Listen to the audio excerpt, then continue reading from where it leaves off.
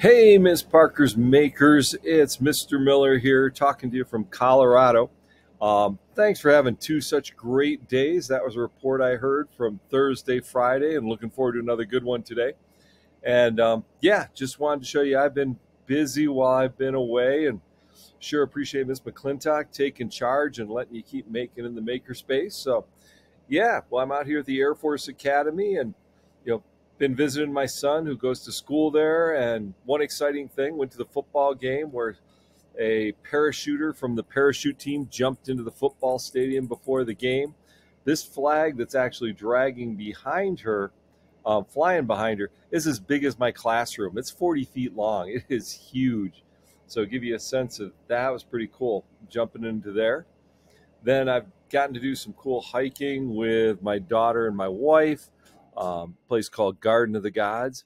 And then, really kind of fun, we didn't expect this, but um, met a new friend who flies hot air balloons, and they're having a big hot air balloon festival this weekend in Colorado Springs. And the balloon that Jeff flies is this giant frog. Isn't that cool?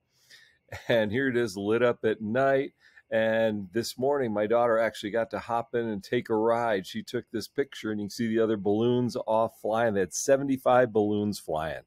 So, pretty neat. Um, we're we're having a good time. Although we'll fly back tomorrow morning, and I will see you hopefully Wednesday morning. But let's talk about what you're going to do. Okay, in that um, there's a great video called "I Wanna Iguana." If you haven't watched it yet, let's pause and watch that. Um, but if you have, then my big question for you is what sort of pet do you wish you could have living with you? Maybe it's an iguana, maybe it's something else. And so, what we're going to do is I'm going to ask you to build a model of it. Okay.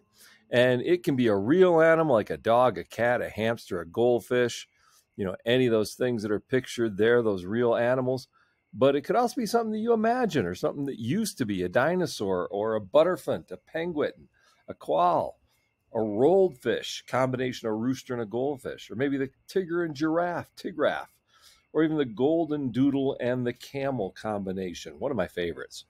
All right. You if you think of something, yeah, that's going to be okay. So what's that perfect pet that you could imagine? And then you've got some options you can build it with Lego. I've got tons of Lego, as you know.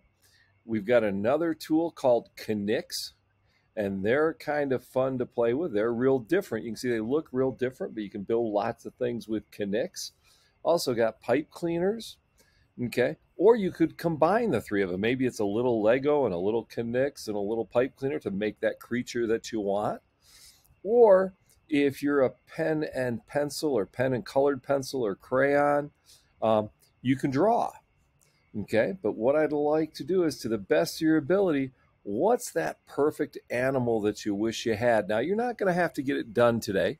Yeah, some of you may get moving on it pretty well, but there's always details you could add to it. But don't you get as far as you can, and then we'll keep what you've created on the shelf. Okay. And so if you end up with a couple extra pieces that you're like, oh, I'm going to add this tomorrow, just put them on the shelf. Okay and we'll organize there. Um, these shouldn't be huge though. It shouldn't be any bigger than a normal sheet of paper, or you might see some cardboard pieces on the shelving there. That's another model if you're looking for how big of a Lego or K'NEX you can build. But more I'm interested in the thinking. What is this, you know, what's your perfect pet? And hopefully you could tell me why. What what has you so excited about that particular animal or that creation as a pet? Look forward to seeing what comes out. All right. Have a great day.